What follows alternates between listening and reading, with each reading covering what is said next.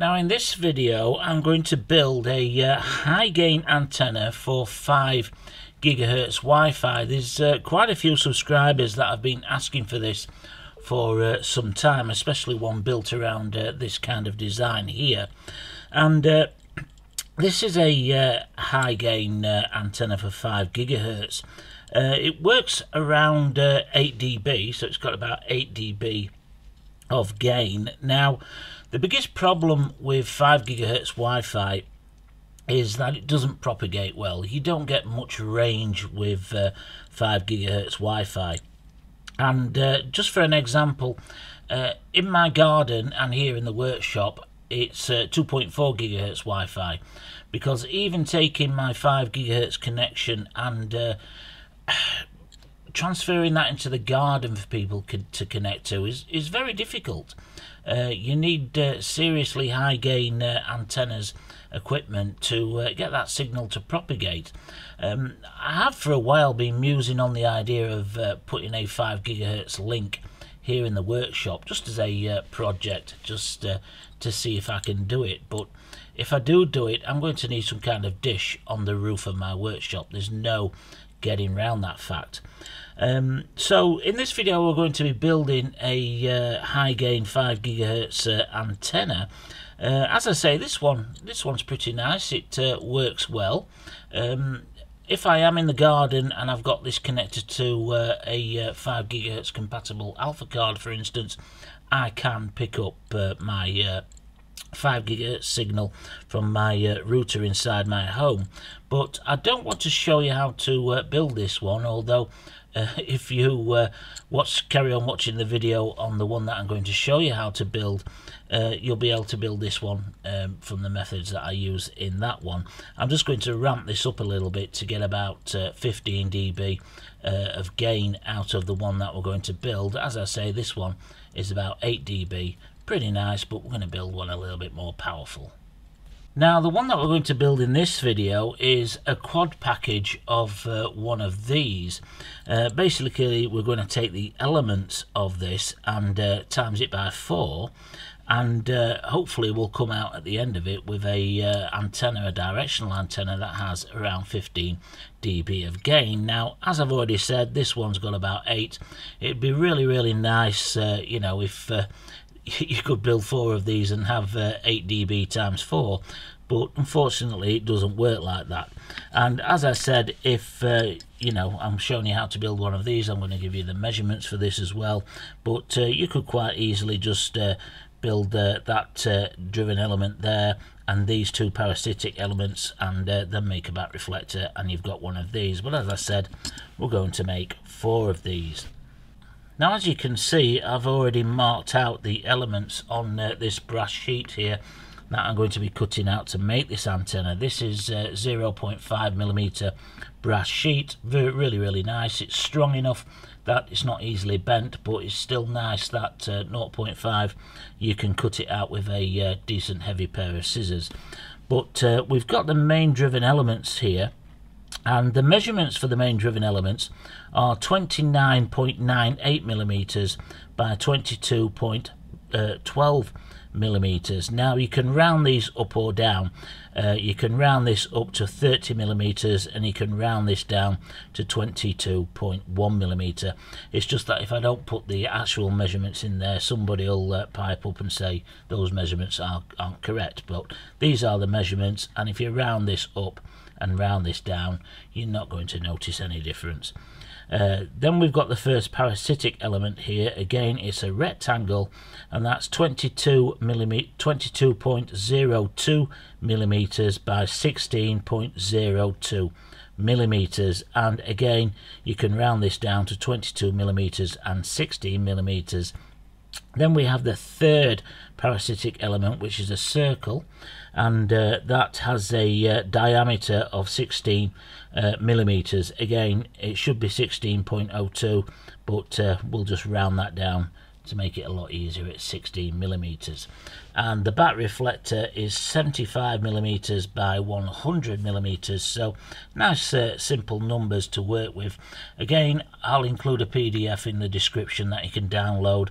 It's got all these measurements in here and uh, also it'll be uh, done as artwork. So if you wanted to etch this out onto a copper clad PCB board you can do that as well now, before I go ahead and start cutting these out, it's much easier to drill the holes first. So you're going to drill a hole in the center of these elements. This is the main driven element, and the easiest way to find the center is to do a cross like this here. So what I'm going to do is just hole punch these and then drill them out. We're going to be using uh, uh, M3 uh, spaces and everything to put all this together so you want the appropriate drill bit for that.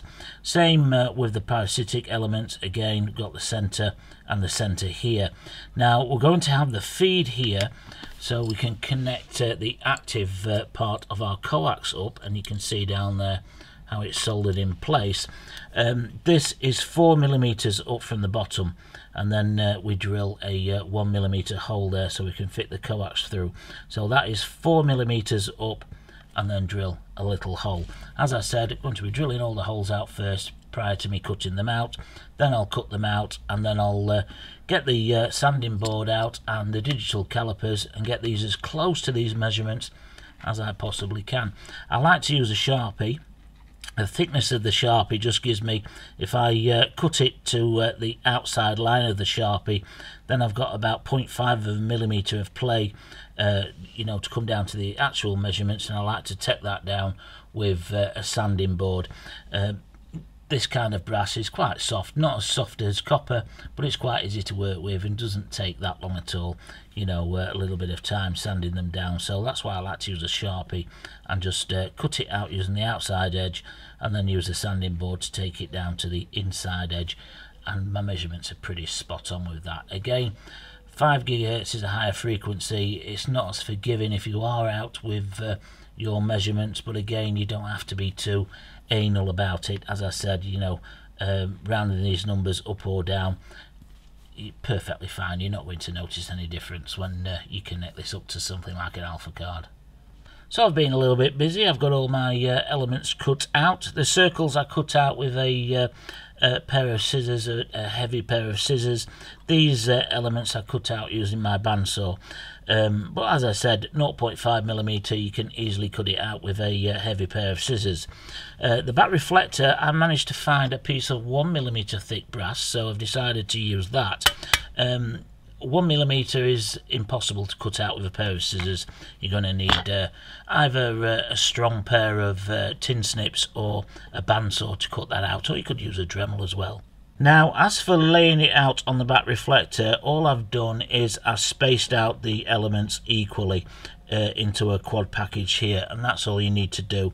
I just got my elements got a ruler and you can see the kind of marks I've put on here. I needed to find the center first of, first of all and I've uh, drilled a hole through there to connect with the coax and then I've got the holes here to uh, connect the uh, M3 uh, spacers up with and build on there with the elements themselves. So pretty simple. I mean the the reflector doesn't need to be exactly 100 millimeters. Um, as I say, I, just getting that ballpark.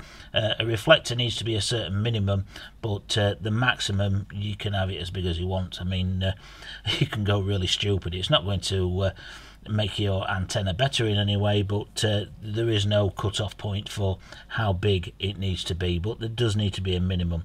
So hopefully you can see there how I spaced it all out nice and equally on there. Now to connect all the four uh, elements together, the main driven elements, so we can uh, connect that up uh, with the coax, I've got uh, some brass brazing rod here. This is 0.5 millimeters and I've bent a piece uh, like this and I'm hoping that my measurements are going to be correct and I can connect this brass brazing rod up to uh, the main driven elements these ones here on the antenna and again on the opposite side and connect my coax here through the center to feed them. Not sure if that's going to work yet but uh, hopefully it will but uh, you'll see that when I'm putting it together. But these are all the uh, elements all cut out and ready to go and ready to be assembled. Now that I've uh, cleaned up all the elements, got rid of the masking tape, we're going to start uh, putting this antenna together. Now, we're going to be using these M3 spacers. These are 6 millimeters in length, and all these measurements have been worked out uh, for the uh, main driven elements and the back reflector, the spacings, for a dielectric constant of air and uh, with a spacing of 6 millimeters from the main driven element to the back reflector. If you uh, change that in any way, then uh, you will change the measurements of the uh, driven elements themselves. But I also want to show you something, and uh, hopefully I can pick it up on camera without having to get the uh, macro lens. But um, this is where I've drilled so we can connect our uh, wire to, so we can connect our antennas together in a quad package. But the drill bit that I've used here is a little bit blunt. Not too blunt, but uh, I have used it a few times. And normally that would be a really bad thing because we've got all this burr that we uh, would need to get rid of. But because I'm going to be soldering this, and uh, my, in fact I'll come from this side, my wire will go through there. Because I've got that little bit of burring on there, it's going to give a much greater surface area so the solder can flow in there and we'll get a much better connection uh, than uh, if it was just completely flat. So sometimes, you know, a blunt drill bit can really help you out in some situations. That's uh, something I do try and do. I save uh, drill bits that are getting to that point where uh, they're not too sharp anymore and uh, that's why I do it. Makes a little kind of solder cup, but yeah, I thought I'd show you that. But um, I'm going to start constructing this. I'm uh, going to construct it uh, a little bit differently than I did this one here because as you can see here on this one I've got the nut on that side and the Phillips screw on that side. I want to change that around. I want to have the Phillips screw on this side with the nut on the bottom. I just think it'll be a little bit neater, that's all. Now that I've got the elements in place, I'm ready to start soldering uh, them all up to become basically fed by the same length of coax, so they're all become one element but a quad package. Now I've got my little uh, connectors here that I already pre-bent and uh, you know measured so they connect like you can see here. I've got a length of uh, PCB board here which is probably about two millimeters, just enough to lift it off the uh, back reflector so we're not making contact to ground. I'm going to solder them on one at a time. I've got some masking tape to hold it down nice and flat to the PCB board. Cut them off really close as well to the elements themselves so I'm hoping I can just flow solder into these and uh, get them uh, connected up. As far as the uh, brass rod is concerned that I use, I've used this for quite a long time now and I have measured this in the past and it is pretty close to 50 ohms. Off the top of my head I think it comes out around 56, 57 ohms which is uh, close enough. 1.5 millimeters as I've said, really nice stuff to use in antenna building, pretty cheap as well. So I've got my iron turned up quite high because there's a lot of brass here and I'm kind of wishing I'd pre-tinned these uh, connectors now on the ends but uh, hopefully we'll get a good connection. Let's get some heat in there first.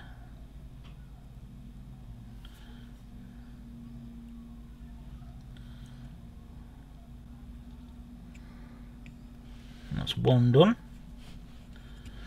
I'm also conscious about melting the uh, little plastic spaces, but I think they'll be okay.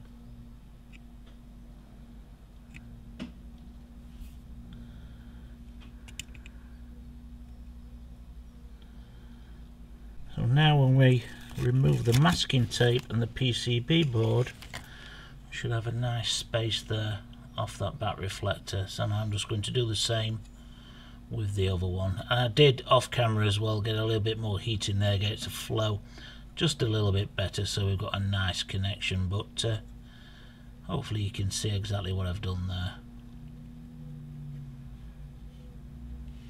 And there we go, we've got them both soldered in place as well. And soldering on camera is really, really difficult because you have to solder so far away from your body. But uh, yeah, it can do a bit of a neater job when you're not on camera, but uh, hopefully you can see there what we've achieved with those uh, feed lines going into each element.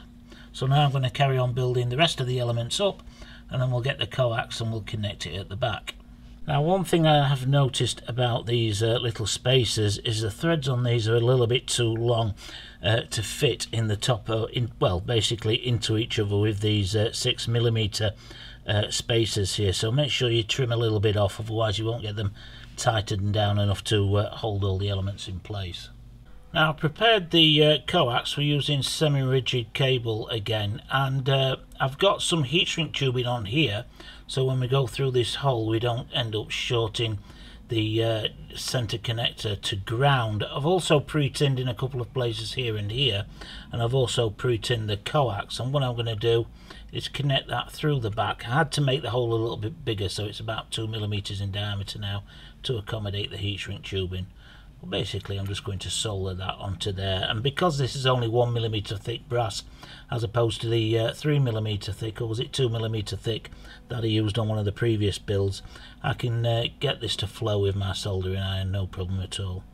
Now the antenna is finished and uh, I think it's looking really really nice. I'm really pleased how this particular one turned out. But let's take it over onto the test bench and give it a test and see what we get on the network analyzer.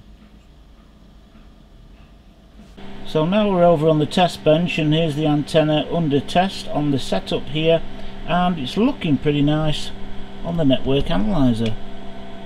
Now we're scanning from uh, 4.8 gigahertz here all the way up to 5.6 gigahertz here. I'm zoomed in on this lovely lovely wide dip that you can see here. The cursor is on uh, 5 gigahertz at the moment and if we scroll down with the cursor you can see that the peak of that dip is uh, 5.2 gigahertz there, around 5.2 gigahertz. And again across all the way